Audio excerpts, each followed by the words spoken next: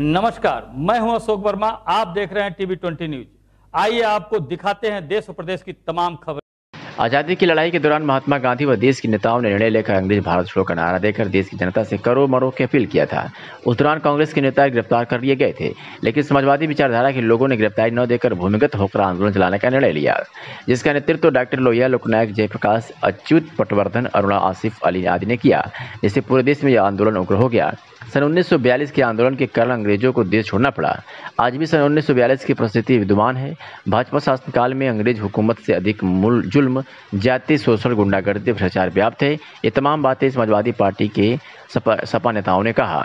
Samajwadi party के कार्यकर्ता, party कार्यालय से हाथ में झंडा व तख्तियों पर भाजपा गद्दी छोड़ जनता आ रही है के नारे के साथ बैनर लेकर कलेक्ट्रेट नेहरू हाल होते हुए महात्मा गांधी की मूर्ति पर माल्यार्पण किया।